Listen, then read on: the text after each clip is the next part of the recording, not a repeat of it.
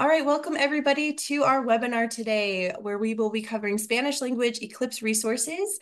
Um, so everything we are sharing today has a bilingual component in English and Spanish, um, and it's all about creating solar science programs for your activities or things you can use for the upcoming eclipse this April, the total solar eclipse on April 8th.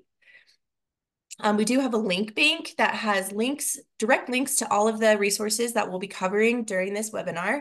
Um, so uh, we'll go ahead and kind of drop that in the chat throughout the, the webinar so you can access these resources after the webinar. Um, so quick introduction. My name is Claire Ratcliffe Adams. My pronouns are she, her, and I am an education associate at the Space Science Institute. Um, and our other facilitators today are Dylan Connolly, um, and we have our uh, education specialist who did all this the translations for us, um, Beatrice. So we're excited to be here with you today. Um, we're going to quickly do an icebreaker before we dig into the content. Um, and then we'll talk about resources that are ready to just share with the public. So these are things you can um, directly share with your patrons. So some videos, some books um, that are just like ready to go for uh, public education. Uh, next, Dylan is going to go over all of our bilingual hands-on activities and just a, a quick description of um, how you can use those in your programs. Um, we'll end with a couple of STEM tools. So uh, SunSpotter um, that we've created a Spanish translation for, um, and also a constellation card that you can turn into a pinhole projector with your patrons. And we'll end with a Q&A. Um, again, use the chat to ask any questions that you might have um, or share other activities or resources that you think will be helpful for folks leading bilingual or Spanish programs related to the eclipse. All right, so we'll start with this icebreaker.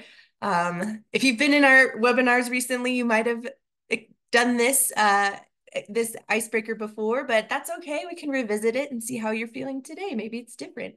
Um, but I'd love for you to share in the chat what solar feature do you feel like today? So are you a sunspot, you know, relatively cool, calm, and collected, embracing change and transition? Are you a solar prominence, kind of feeling showy and bright, but still grounded and connected? Are you a coronal mass ejection? Now, this is powerful. You're influential. You're ready to mess things up. Maybe you want to, you know, take out a satellite of Earth. Or are you the sun's corona? Maybe sassy and gassy, and you won't let anyone's shadow dim your light. So go ahead and answer in the chat. How are you feeling today? A little check in.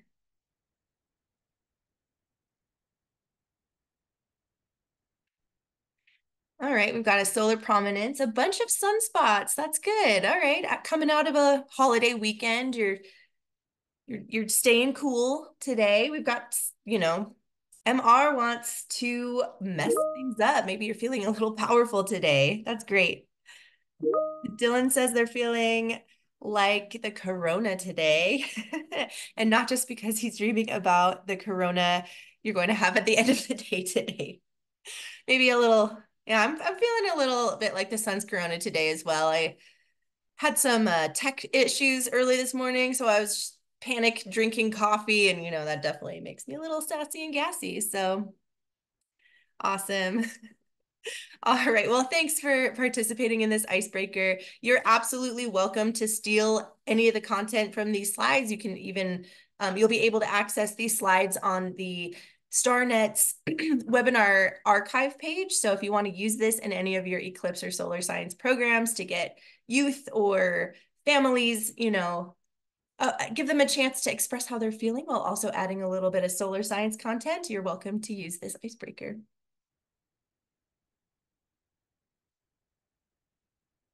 All right, so I wanted to start off with a few resources for you to share. You can just share directly with the public in your programs.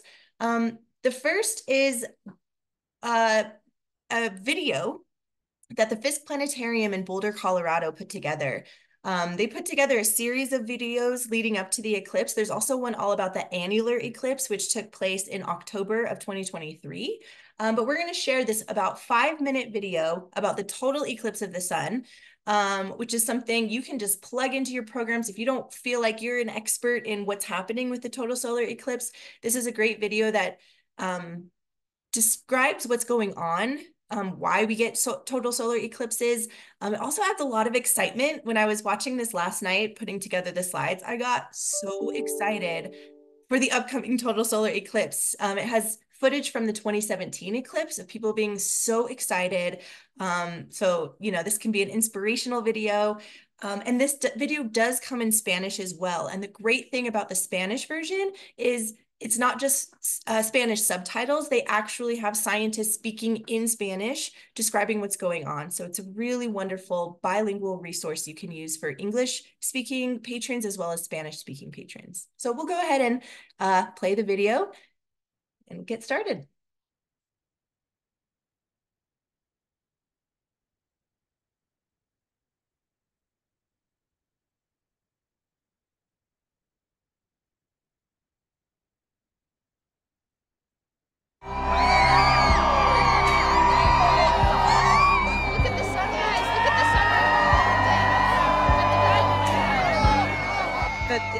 Got suspended. It was very surreal. Everyone was going crazy. It was awesome. Pretty cool. Something dramatic happens like this, it resonates inside of us because we're part of this universe. Oh, that was mind blowing. That was so cool. I almost, first eclipse, I almost didn't know where to look. I was watching the mountains disappear as the shadow came. I was watching the shadow bands on the ground. I watched the corona, the prominences, the planets you could see. It was, oh, that was the fastest two and a half minutes of my life.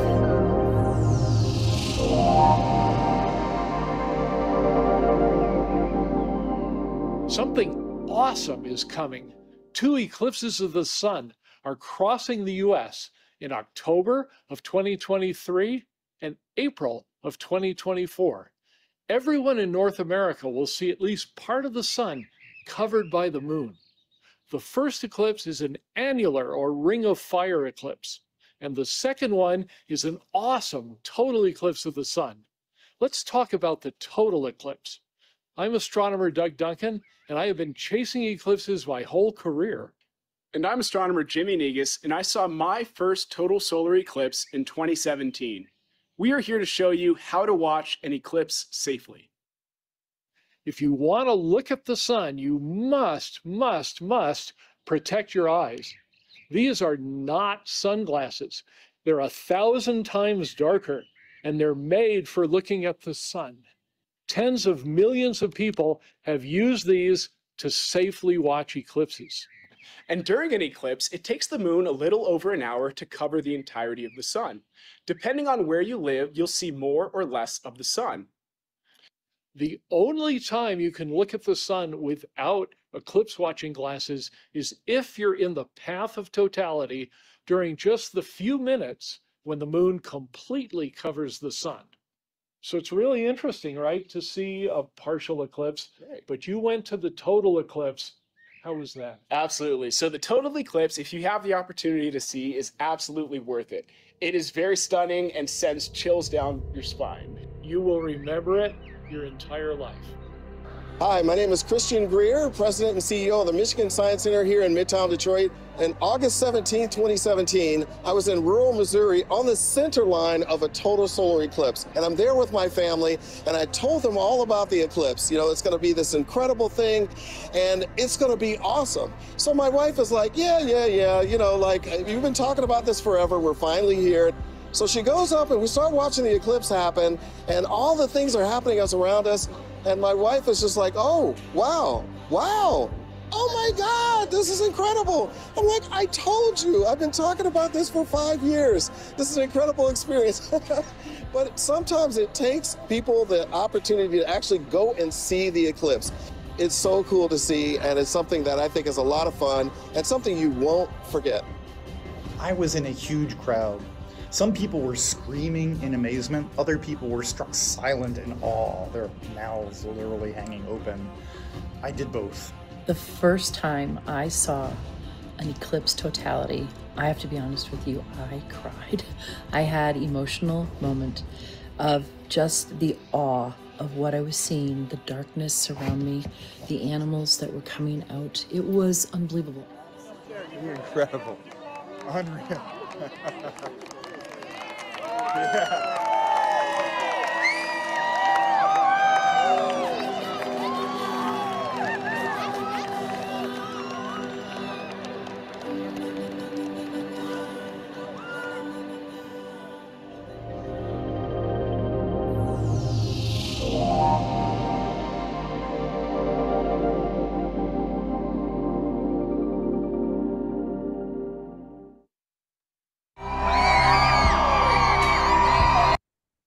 Right. Well, I hope that video got you excited. Um, you know, even if you're not on the path of totality, it's still just an incredible experience. Um, and I also just want to point out, you know, even if your library is not on the path of totality, you may have patrons traveling to totality and want to learn more and get some resources. So uh, that's just a fun video you can have in your lobby or during a program um, to give that science content. So in the link bank, we have a list of books that are, most of them are in Spanish, um, but uh, many of them are in English and Spanish. I'm just highlighting two in the webinar today um, that we put in our NASA at My Library um, solar science kits that we sent out to about 50 libraries around the country that applied for it.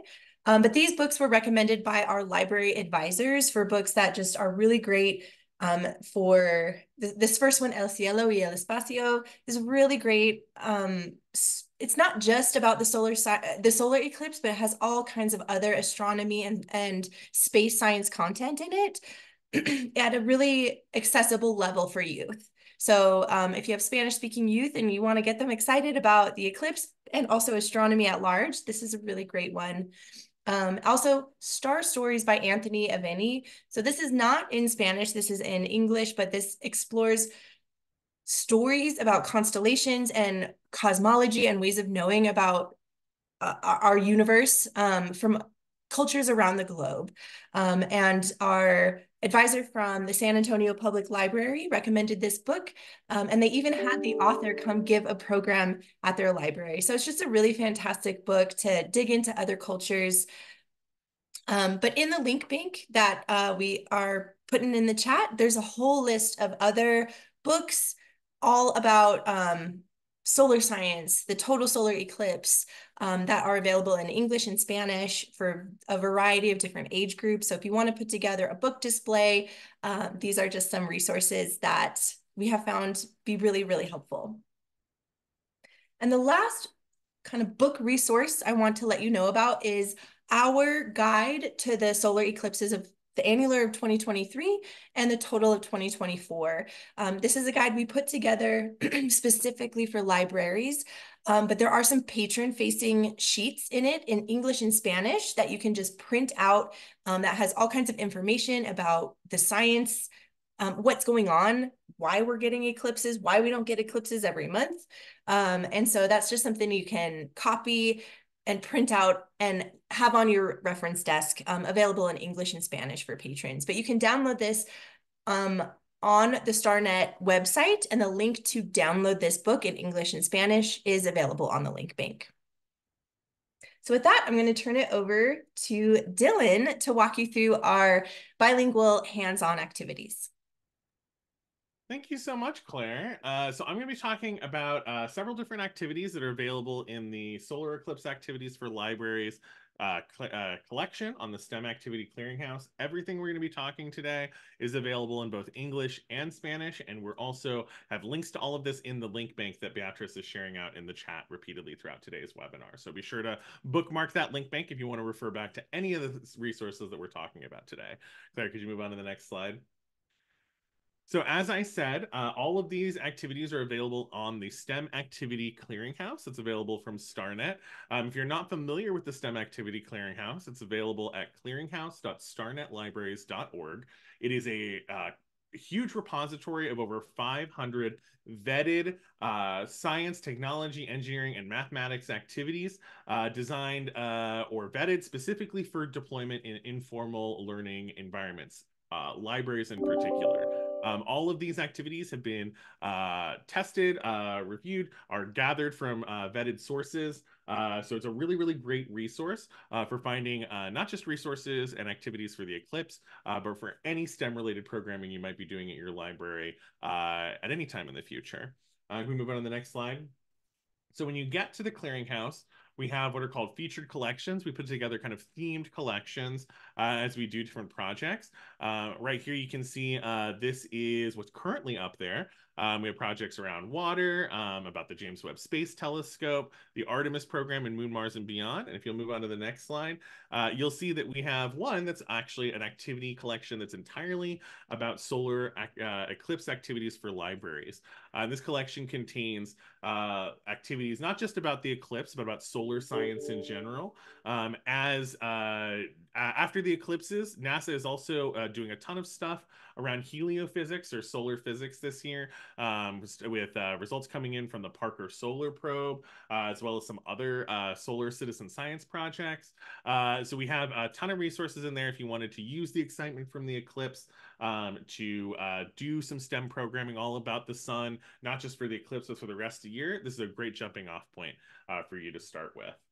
Um, so when you go into that collection, you'll see many, many different uh, activities uh, on the clearinghouse. Actually, there's a searchable, filterable option for uh, finding all of our bilingual activities, but every single um, or almost every single activity in the SEAL collection has been translated into Spanish. Um, it has full Spanish versions. Uh, everything we've developed um, for these activities, whether or not it has a table sign, uh, a patron facing handout, uh, anything like that has been translated and has a separate version in Spanish that you can use uh, for programming. So all of these activities that I'm going to be talking about have instructions in both English and Spanish uh, for both you and your patrons. So the first activity we're going to be talking about is a really cool demo. This is uh, the first couple activities we're going to be talking about are some cool demonstrations that use some everyday objects uh, to show how the, the relationship between Earth's position, the moon, and the sun create eclipses. Um, so if you're thinking about how eclipses would work, it's the shadow of the moon passing over the Earth and blocking the sun. Uh, so uh, that is reliant on the very specific distance between the Earth and the moon, and then the moon and the sun. Um, if the moon was a little bit further uh, away from us, it, the shadow wouldn't cover the sun completely. Uh, and if it was a little closer to us, we would pro- we would have even more of a dramatic. You wouldn't see the corona, the sun's shadow would, or the moon's shadow would cover even more of the sun uh, than it is. Also, the moon being closer to the Earth would mean massive tidal uh, events and probably the Earth being ripped apart by the moon's gravity. So we're very glad that we have eclipses the way they are. Um, uh, so this activity uses uh, two learners, a plate, and a large coin, like a quarter, uh, uh a half dollar. If you've still got any Sacagawea golden dollars running around from 20 years ago, uh, this is a, a, good use for that. Um, and this activity positions two learners, one of whom is holding uh, a coin and looking at the coin, and another learner who moves further away from them holding a plate. And you uh, to try and determine the exact distance that the second learner has to move away uh, from the uh, learner in order for that plate to be covered up completely as they're looking through the coin. And this kind of mimics how the moon passes in front of uh, the the between the Earth and the sun to create that shadow and blocks the sun's light. Uh, so you do that, and it's a very simple setup. It's a really good to do in groups because it's uh, easy to pair off everyone and demonstrate this all at once. You can have people make predictions about how far they need to be away uh, before the eclipse uh, of the paper plate happens, uh, and it's a really uh, cool, fun activity. Can we move on to the next slide? So this is a diagram, a very simple diagram that's actually included uh, in the uh, activity um, that shows uh, kind of the exact positioning that needs to happen for the moon to be in front of the sun to create a total eclipse. Um, when it's not in the co exact correct position, you get what's called a partial. Um, this is what also creates the path of totality um, that uh, was shown in that video. Um, the path of totality is where that position of the moon is relative to the uh, to the Earth, where it creates a total shadow. And the path of totality is actually the area where that shadow is going to travel across the Earth's uh, surface, creating a diameter of complete coverage where you can see the total shadow. If you're outside of that path of totality, you get the partial um, uh, eclipse, which you can kind of see um, on the right side of that diagram. That lighter gray area uh, is where partials would happen, where there's a partial shadow instead of the total. Um, so that's a really simple demonstration uh, and activity that's got uh, those uh, instructions in Spanish, and it pairs really nicely with the next activity we're going to be talking about, um, which is shadow tracing. These don't need to be done together, but they pair really, really nicely together to show um, not just about how the distance of the sun, uh, Earth, and Moon are uh, important for eclipses to happen, but also that the sun and the, um, the those relative positions change uh, as the orbit of the Earth travels around the sun, as the orbit of the Moon travels around the Earth, uh, and specifically how the angle of the sun relative to us creates different types of shadows and helps create that path of totality. Um, so this is a really great indoor or outdoor activity. Uh, it's really great for outdoors on a sunny day, but if you plan to do this for any programming, it's really easily adaptable in line by using a uh, light indoors. Uh, any kind of lamp will work for this, especially if you've got one uh, that has something you can direct light, like as a conical uh, kind of uh, light shape. One thing that works really well is those uh, IKEA or Walmart um, lamps with the five tendrils on the top of it with the uh, kind of spotlights on them, where you can direct those five lights in any direction. Um, those work really well for that. If you're looking to get a lamp for this, they're like $20 at Target or something.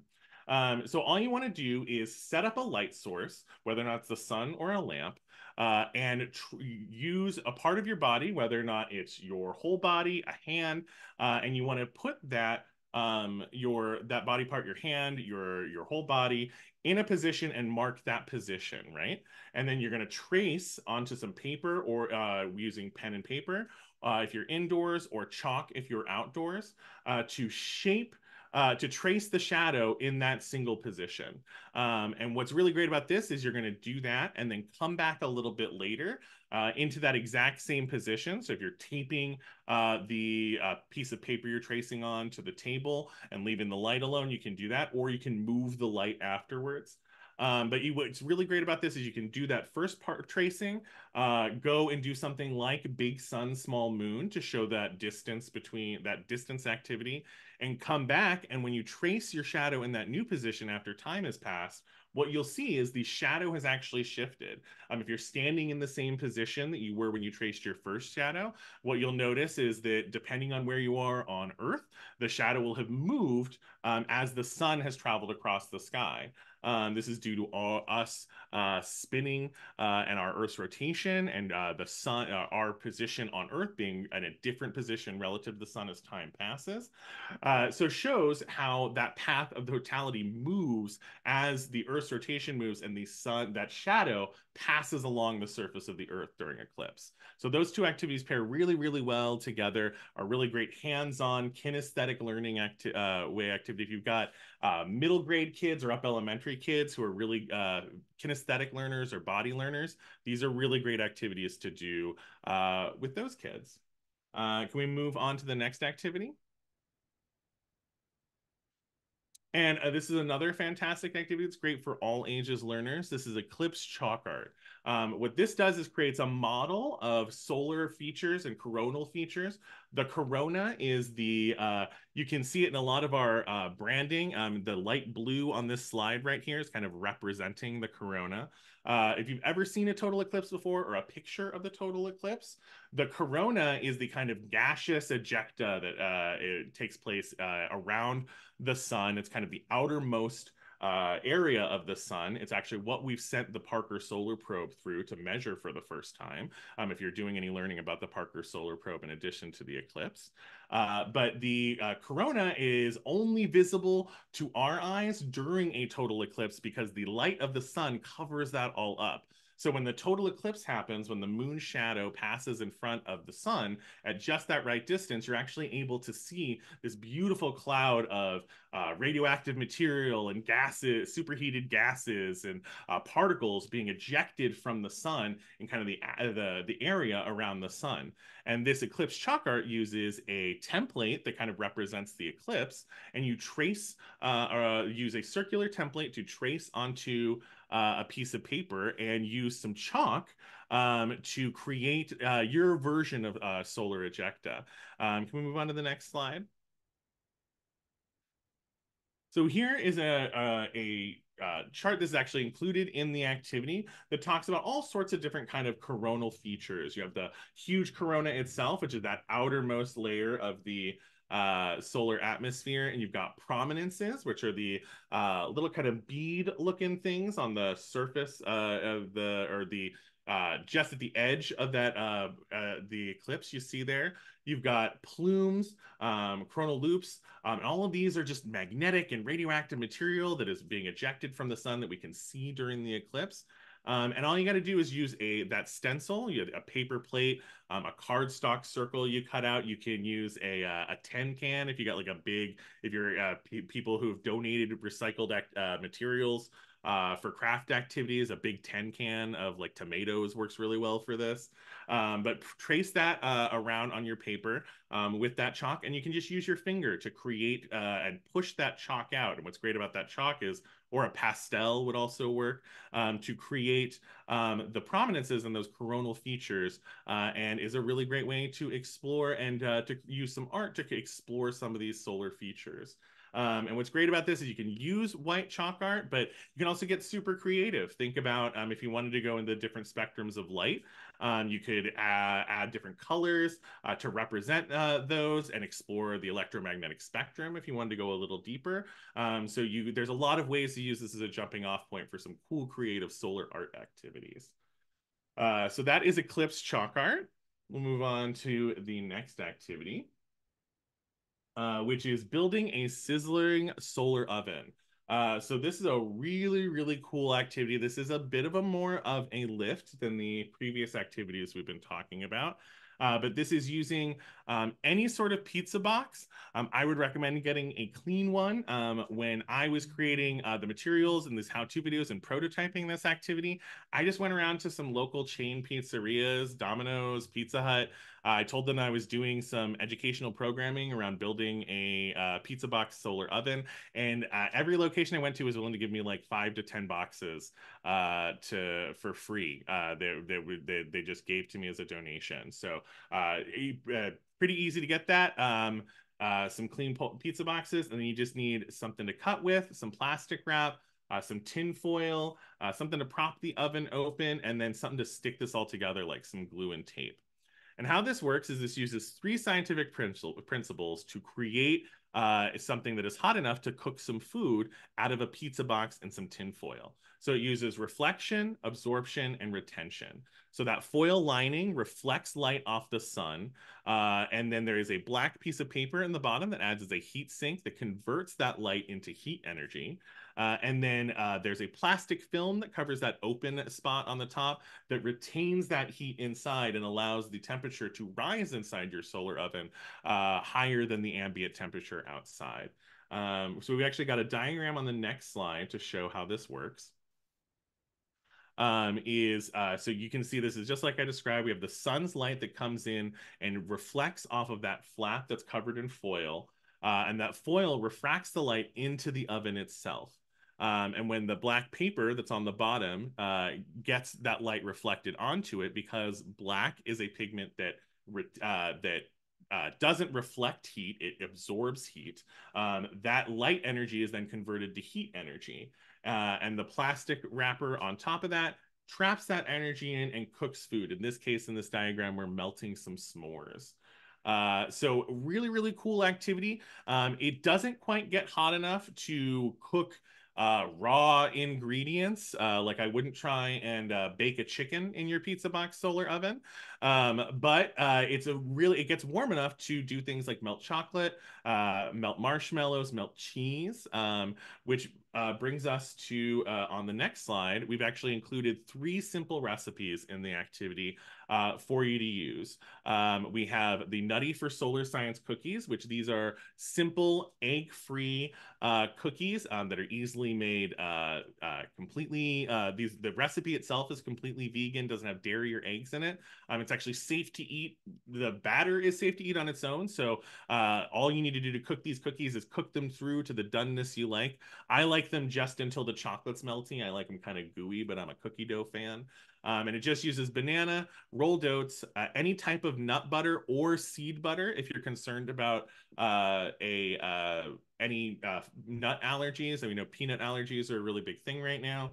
Uh, are increasing in prominence. So using something like a sun butter, which is a sunflower butter, um, or any sort of seed butter um, uh, that would work really, really well. And then chocolate chips. And you just mush that all together in a bowl, shape it into cookies, put it in your pizza oven, and when they are firm and the chocolate chips are melty, they're ready to eat. We also have instructions for how to use uh, this with s'mores um, and what we're calling tortilla eclipse quesadillas, um, which are veggie quesadillas that you can fill with any kind of filling or just cheese if you want, and use your solar oven to melt the cheese on those quesadillas. Uh, and as Claire said in the chat, the sun butter would be very on brand uh, for the total eclipse. Um, and all of these instructions, as any of the activities we're sharing today, um, also have complete bilingual uh, Spanish uh, instructions as well. Uh, if we go to the next slide, you can see what that looks like in Spanish. Um, that Beatrice has uh, translated for us. So we also, because this makes a really great take and make activity or something you can send home uh, with your your learners to do with their families. Um, this is a really great activity to do with a uh, if you have a tween or teen uh, science or STEM club. Um, this is a really great activity or craft to do uh, in uh, the library and send them home with their pizza box solar oven and these recipe cards. Uh, that they can make the, these at home in preparation for the eclipse. Uh, so there's a cool take and make uh, component to this as well. And if you're trying to reach Spanish speaking families, like I said, all of these recipe cards are available uh, and the instructions are available in Spanish. Now, let's say you don't necessarily want to deal with food, but this activity sounds like a really cool one for you, or um, it's not a super bright sunny day as you're planning your uh, activity. Maybe you're doing this in the weeks leading up to the eclipse uh, as a cool way to distribute glasses and do some solar science education. But you're unfortunately in a uh, it's partly cloudy that day and clouds keep passing in front of the sun you're not quite gener- generating quite enough solar energy to cook food we have a we include an extension and kind of a backup activity in that instructional guide for you to turn your solar oven into a solar still um, a still is a uh, thing that purifies uh, any sort of liquid through evaporation. It's being used. Uh, it's used to purify water as well as to create alcohol spirits. Uh, the same kind of process of, of purification through evaporation is how we get things like vodka and whiskey and bottled distilled water. Um, so uh, all you do is you build the solar oven the exact same way, but instead of filling it with uh, uh, a baking tray full of sun butter cookies or quesadillas, um, you put two containers inside, one of which uh, can the larger which you fill with dirty water. For when I've demonstrated this activity, I usually just take a little bit of potting soil and mix that in with water, so you see those big particles that are dirtying the water uh, and then you put a clean container uh, that's heavy enough to be weighed to the bottom of that uh, larger container uh, filled with dirty water. Then use some weights. In this case, I've used stones uh, to kind of weigh down the plastic. And that's gonna uh, the the plastic sheeting on the solar oven. And what that'll do is create kind of a, a con uh, cave depression that when the you set up your solar oven the water the solar energy will heat the dirty water evaporate the water molecules out of that dirty container and they'll collect on that concave depression uh, in your solar oven. Uh, and as that water collects, it'll form condensation and that water will drip down into your clean container. And when you pull that clean container out, what you'll realize is that you've got pure water inside that container uh, that uh, that doesn't have any of the particulate pollution that we put into the larger container on the outside.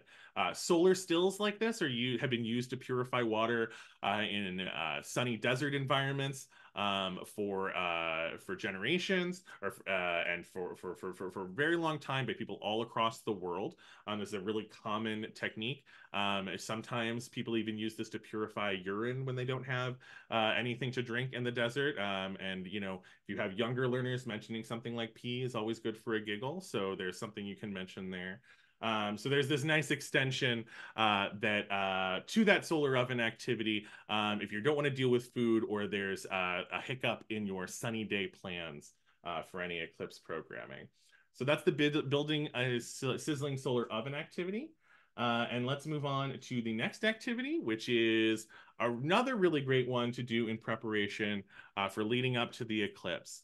Uh, so uh, a lot of the libraries we've been working through the SEAL project as we've been distributing uh, solar eclipse classes, or if you've gotten solar eclipse classes on your own, um, is that a lot of people are just a lot of libraries are distributing these classes in advance leading up to uh, the eclipse uh, in April. Uh, what the only problem there is that solar uh, glasses, the filters on the glasses need to be protected in order for them to maintain uh, their uh, coating and their filtration so that you're not able, you're not hurting your eyes or they're not developing holes, scratches uh, leading up to the eclipse, which can be very dangerous if you're looking at the eclipse with some uh, flawed eclipse glasses. Uh, so what we've done is we've created a printable personalized protective case uh, for keeping solar viewing glasses safe and dust free between the eclipses. It's really easily printable on cardstock. It's low cost. Um, it's an opportunity to discuss safe viewing uh, with your uh, patrons if you're distributing these glasses, the importance of keeping those dust free and in a safe place until the eclipse. Um, and because these solar uh, uh, viewing glasses aren't just good for the eclipse, you can look at the sun anytime using them. This is also a great way for them to uh, keep these uh, if they want to use them again in the future. Um, so it's also commemorative, connects the two eclipse events, one the, one in October uh, and the one uh, in April. Uh, and uh, it also makes a really, really fantastic take and make kit. We've had, uh, uh because if you're distributing uh, glasses uh, through programming or you wanted to have these as something you can sign up and take, um, having this, the, the protective glasses case as a printable and foldable is a really great way to come make your protective case, get a pair of glasses and come back and join us for Eclipse programming is a really great take and make to, to send with folks as well. Um, so it can be a passive program, uh, take and make, really, really cool for all ages uh, and for families. You can give out one of these if you're distributing one set of glasses per family. Uh, you can hand these out with the glasses and or, or have them decorate them, make them. Um, if you wanted to retain the glasses uh, in house, if you are using these for a select group of like repeated learners, like a STEM club, teen or tween STEM club. Uh, this is a really great option for them personalizing that, and you can also retain the glasses at your library and know whose or whose uh, as you redistribute those for Eclipse events. We move on to the next slide? Uh, as I said, these are it's low cost printable materials. If you're receiving the uh, solar viewing glasses from the SEAL program or another source, uh, it's a really great addition. That all it costs is printing out some stuff on some cardstock. Uh, and the last activity, or the second last activity we're going to be talking about today, uh, is I'm sorry, I am rushing through. I'm just trying to get to all the activities we're going to. As I uh, I know I'm talking a lot and very quickly. All of these activities. I just want to remind everyone that all these activities I'm talking about today are available in the link bank that Beatrice has been sharing out. Uh, and most of those activities have either have in-depth, step-by-step, full-color photo instructions on how to do these activities, uh, and many of them also have how-to videos or recorded demonstrations from other webinars. Uh, so we have a lot of resources. I know I'm throwing a lot of these at you really quickly. We have a ton of resources available in that link bank to make sure you can run these activities uh, despite my rushed uh, get through all eight uh, presentation today.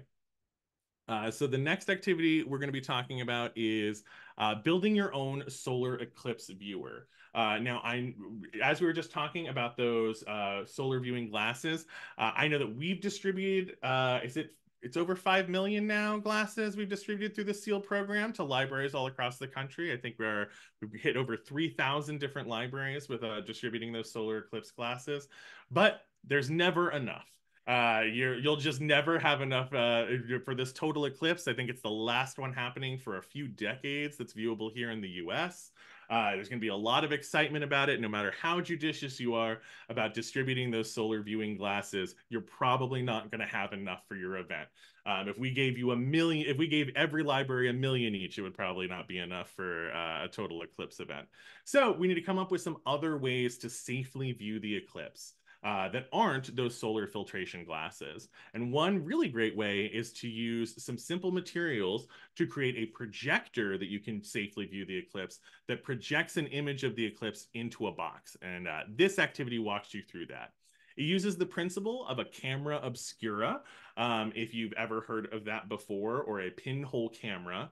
Uh, and what that does is it takes the light that reflects off of an, uh, an object and it concentrates it through a tiny hole called an aperture. Uh, and then through this is the diagram on the bottom there.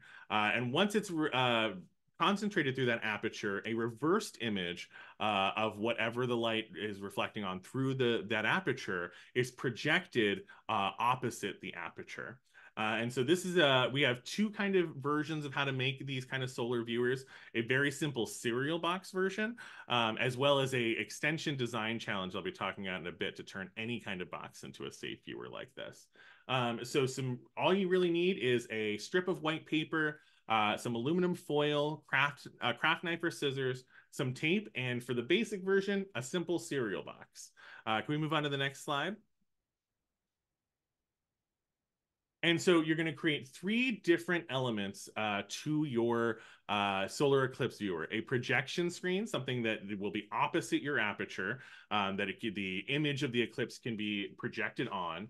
An aperture, which we're going to create out of uh, some tin foil and just poking a tiny hole and then a viewing window that allowed that is also opposite uh, the uh, the aperture that lets you view the projection of the eclipse. And those are the three essential parts of a pinhole viewer. And all of the background science explainers of how the this works um, and how to build these are available in the activity guide that's in that link bank. Um, so you can create many different designs from any box. The instructions, the step-by-step -step instructions we have in the activity guide use a cereal box, uh, but the, uh, the you can use this out of any box at all. Um, so it's a really great opportunity to get people to donate recycled materials leading up to a program. Um, if you've got things like craft paper, scissors, and tape around, having uh, people bring uh, bring your own box to the uh, to your event if you're building any of these. Uh, it's a great way to save on some materials cost and get your community involved with uh, uh donating uh, materials. Let's move on to the next slide. Uh, so uh, you, the first step is to open up one end of the box, put that projection screen like we did uh, on the previous slide. Uh, opposite that projection screen, you're going to cut out uh, the, uh, the a hole in that. So two holes in that side, one for the viewing window, one for the aperture.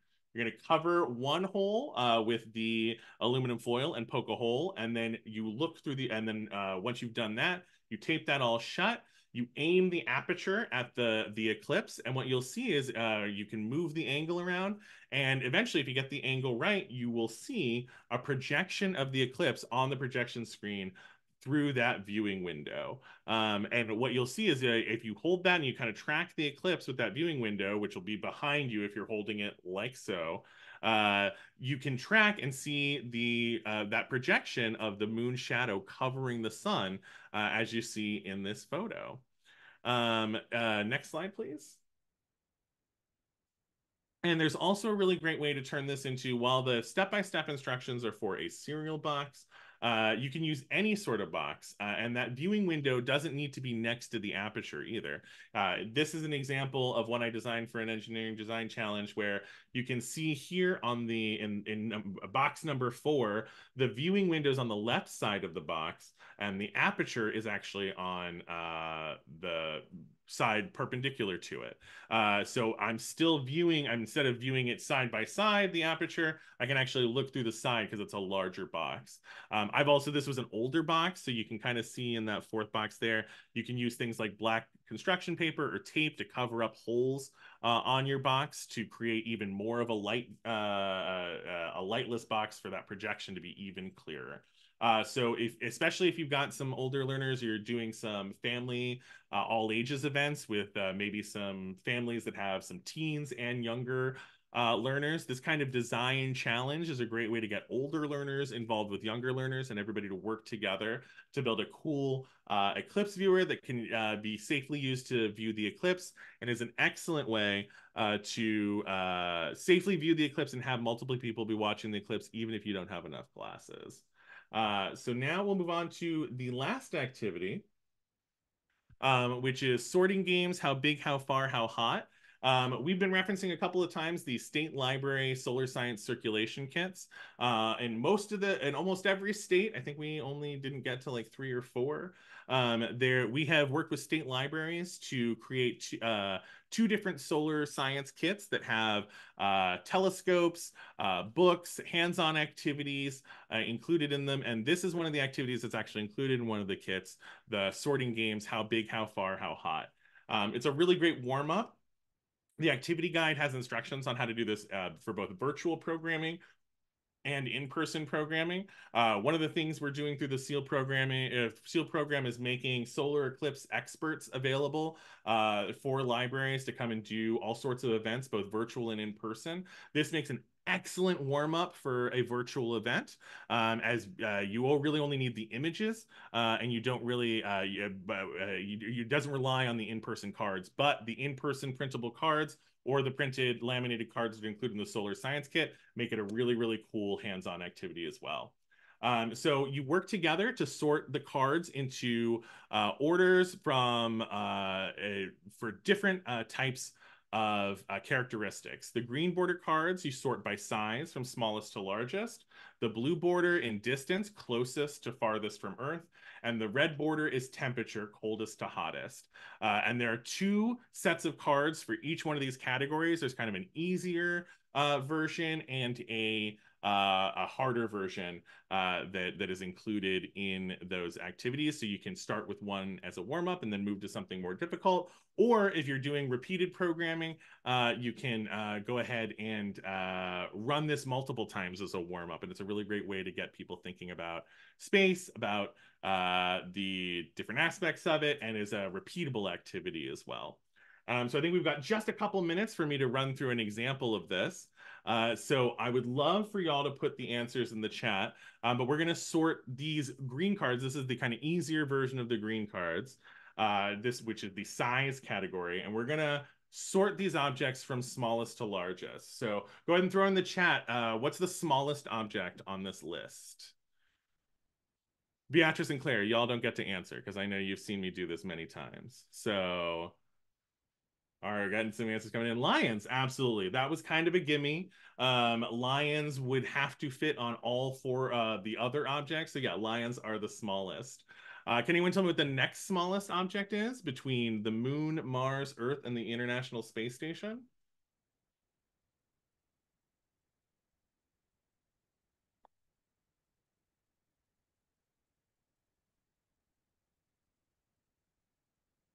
I'll give you a hint in order for one object to be in orbit around another, it's got to be smaller than that object it's orbiting.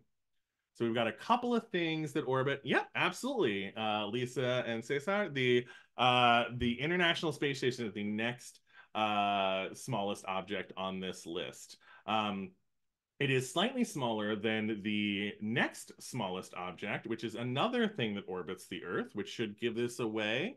Uh, and anybody want to take a stab at what the kind of middle, uh, right in the middle in terms of size? The moon, absolutely. Uh, the moon is much larger than the ISS, but much smaller than the Earth. And, and as we were talking about earlier, is just the right size to create the perfect size shadow to create a total eclipse uh, as it passes between us and the sun uh, at specific times.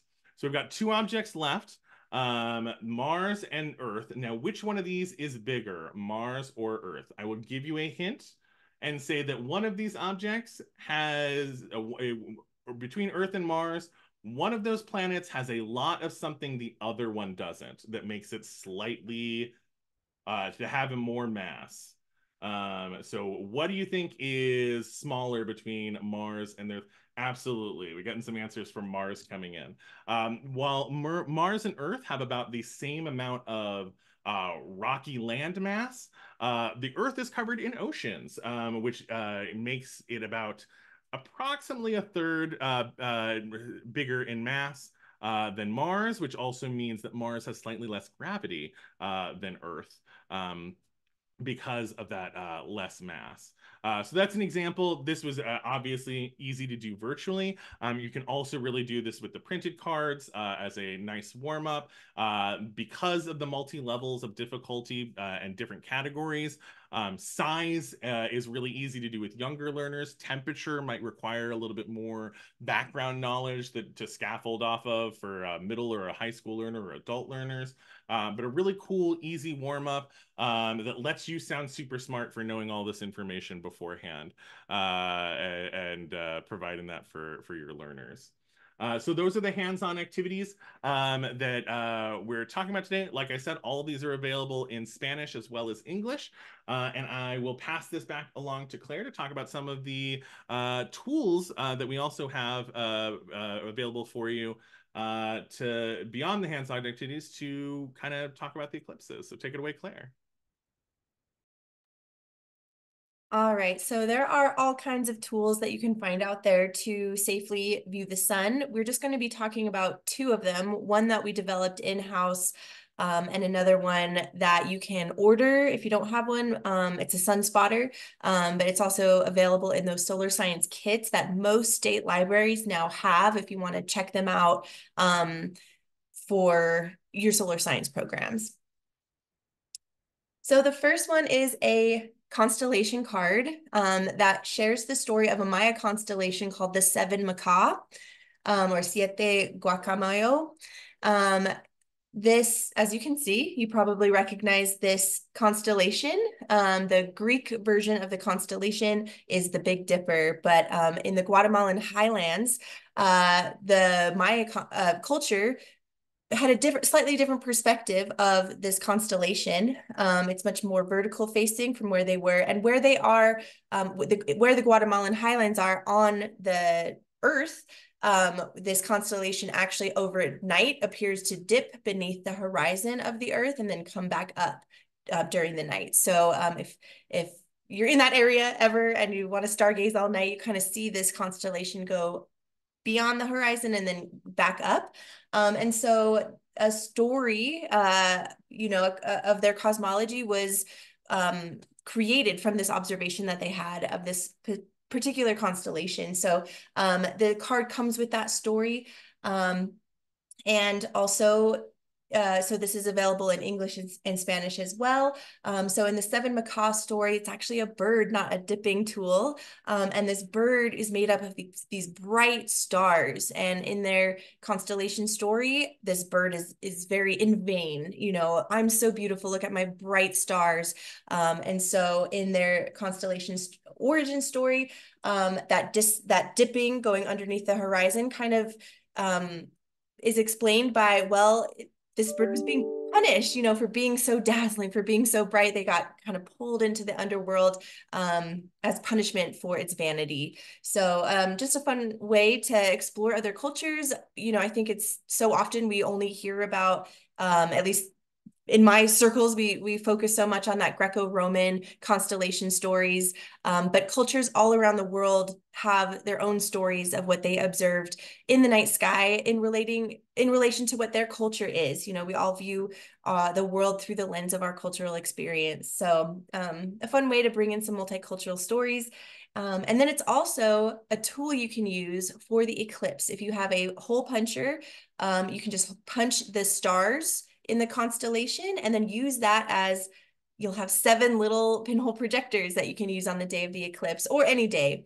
Um, we put this in a kit and the um, the hole punch we used was actually star shaped. You can get different types of shapes of, of hole punchers. Um, and what's fun about that is uh, when you hold the card down on the sidewalk, um, really close to the sidewalk, first you'll see lights shining through in the shape of the stars um, if you use that star-shaped hole punch. But as you lift it up and move it sort of away from the ground, um, it will act in the same way as the, the camera, obscure, camera obscura concept that Dylan was talking about, and it will invert the image of the sun. And so you'll see those little star shapes turn into a circle if it's just a regular day. And that's kind of exciting. You can use it anytime. Um, but on the day of the eclipse, you'll see the star shapes be inverted into that crescent shape um, as there's a partial eclipse and then eventually you won't see anything at all because the sun will be completely covered. Um, but yeah, a fun way to bring in some um, Maya culture um, as well as using a scientific tool uh, to safely indirectly view the sun.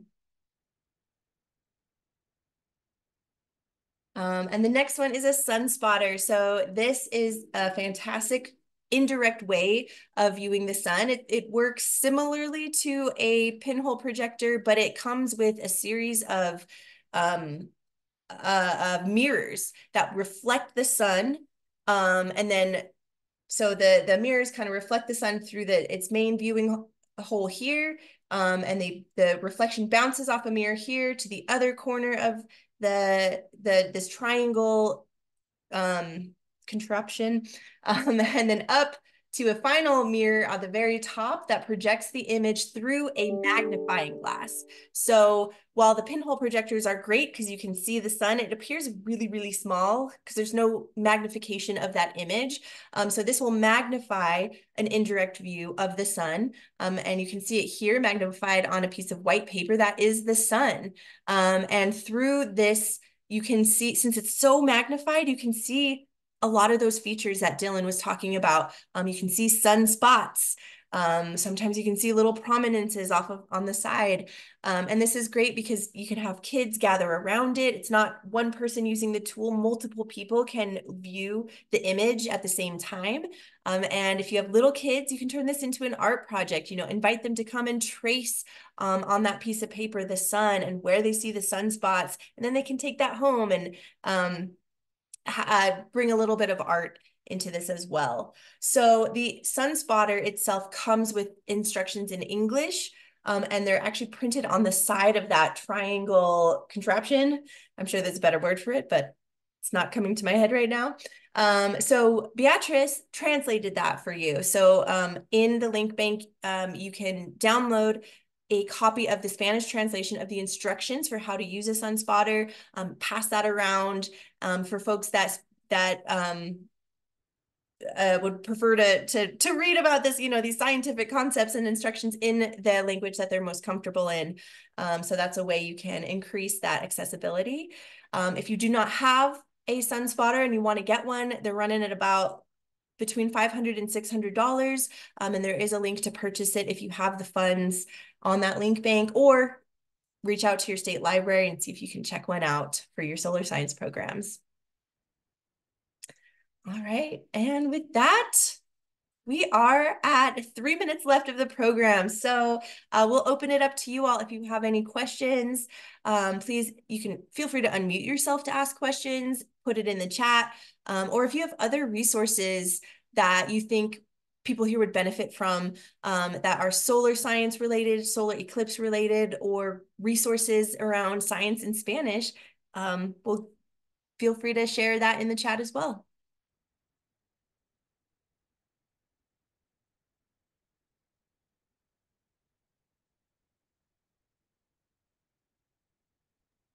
One thing I learned about the sunspotter, Claire, is that it's actually called a uh, Keplerian style telescope um, because it uses a singular optical lens uh, to create a inverted image oh. uh, on the sun. So that is that is different than a dual lens uh, uh, mic, uh, telescope, like the kind you would see in many observatories. Awesome, Keplerian. I'm adding that to my vocabulary today.